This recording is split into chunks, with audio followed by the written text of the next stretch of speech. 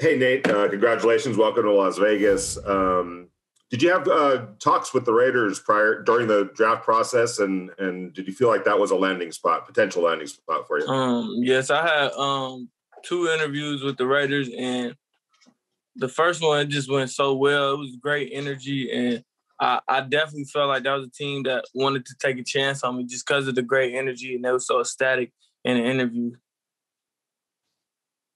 Hey Nate, it's Tashan Reed from the Athletic. I know you played a little bit both inside and outside in college. But when you are at that slot corner role, what do you think you bring to the table? Um, I think I bring a lot of physicality, um, size, speed, um, and matchup ability to the table. Um, in that slot, uh, I am a versatile guy. I feel like so in that slot, I can match up with a smaller, faster guy in the slot, or you know, if they move a guy outside receiver in the slot, I can match up with him also. And I think I'm a guy who can blitz, who can uh, recognize coverages, sit back in zone, man, everything. I think I'm pretty versatile. Hi, hi Nick. Um, you you had said recently that you um, you embrace the underdog role. Why why do you uh, why do you like the underdog role so much? Um, that's just what I've been all my life. Uh, I don't know nothing else. Um, I came into high school. Um, I didn't I didn't play varsity till my junior year a lot of people didn't know who I, I was, and I got on the scene quick and, and made made the most of, of that. Um, got to college. I w- I wasn't a high recruit. I was about a two star. Um, I only had one Power Five offer. Um, I made noise when I was in college. Uh, that got me to the position where I am now, and uh, I was a fifth round draft pick. I'm thankful to God. Um, I'm just so thankful to the Raiders organization for taking a a, a, a chance on me. But I, I, won't forget that. I won't forget the guys who are taking before me. Um, the guys um, who I feel like didn't do as much as me, but we're, we're still picked up. And I'm just so thankful for the, the Raiders for taking a chance. They won't regret it. They're getting the best underdog they ever drafted. For real. Nate, this is Hondo Carpenter from Sports Illustrated. I've actually covered a few of your games that you played in earlier in your career. And one thing that stuck out is you play defensive back with a linebacker mentality. Um, mm-hmm. Um, very tough. You put your a lot of defensive backs don't like to get up and get dirty and get physical. You do. Would you talk about that part of your game and how much did the Raiders tell you they like that about you? Um, really, that that that part of my game, I think it just comes from where I where where I come from, where I've been. Um, I, I went through a lot of adversity in my life, and I think that shows the way I play. I play with passion. I play with um, want to and when I'm on the field, I, I don't.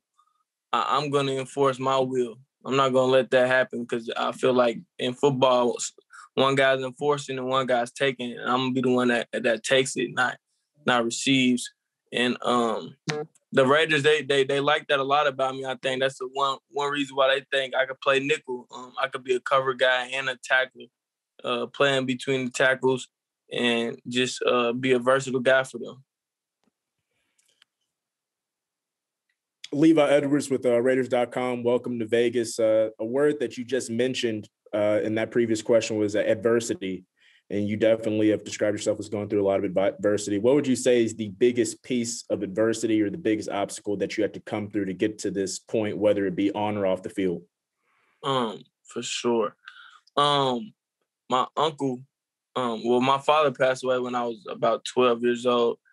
And um, we was already uh, my mother. She raised me, my little brother, my little sister, my big brother off twenty five thousand dollars a year. Um, that's that's four people under one roof, and without a father. And I just, you know, I had to, I had to come up with that and grow up fast. And then my uncle, who's a, who's an influence in my life, a big influence, uh, um, a father figure who's to come to all my college games. He passed away this this past year, and my my granny she also died from cancer the year before that. So I've just you know I've I've, I've had to deal with some some adversity and things like that, and I've had four college coaches at Illinois, uh, position coaches, but all that none of that can stop me. I, I don't feel like I feel like um, God's put me in this position for a reason. And as long as I'm not dead, as long as I'm still here, I'm gonna keep going. So that's what that means to me. Hey Nate, first of all, uh, my condolences on all the, on, the, on those losses uh, and for coming through uh, strong uh, as you have. Um, Yes, sir.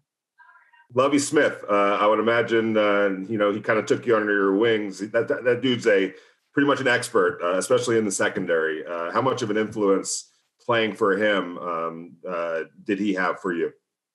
Um, Lovie, Coach Coach Lovie Smith, he was a he was he's a vital role to my success right now. He gave me the chance um, that that put me on this platform that that allowed me to get drafted right now and and and and give me this chance. Because without without him giving me that chance at Illinois, I wouldn't be here. And he's taught me a lot about the game of football. And him being an NFL coach, I feel like I'm already on that NFL level mindset wise, and I know how to carry myself like an NFL guy on and off the field. And I'm a little bit ahead of the curve when it comes to NFL, the way things go, because I've had a, you know, NFL Hall of Fame cal- caliber NFL coach coaching me. So um, a lot of a lot of my success I can uh, attribute to him, and I'm, I'm really thankful for that. Nate uh, Levi Damien again from USA Today. Um, you you went to the same high school as uh, Michael Bush, correct? Mhm, yes, So sir. how, how much- you know about him, and how crazy is it that Mm-hmm. you're basically taking the same path to the pros as he, is- he That's did? really crazy. That's really crazy. Um, he went to Mill, went to college at Louisville, and um, um, taking the same path. Uh, He was at the Raiders, wasn't he? Hello.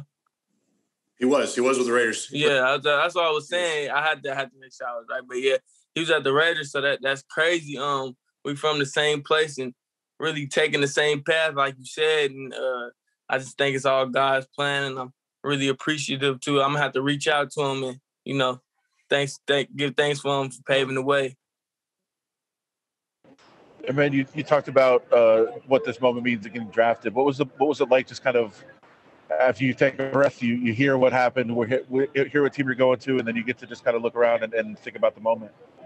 man, it was it was so it was it was it was life changing. It was crazy. I'll never forget that moment. Um, I, I got the call and it was Jon Gruden. It was crazy. I didn't even know what to say. I'm just like, yes, sir, yes, sir, yes, sir. Everything he said, I said yes, sir, because I was just trying to, you know, trying not to to to let emotions take me over. But it's a it's a moment I'll never forget.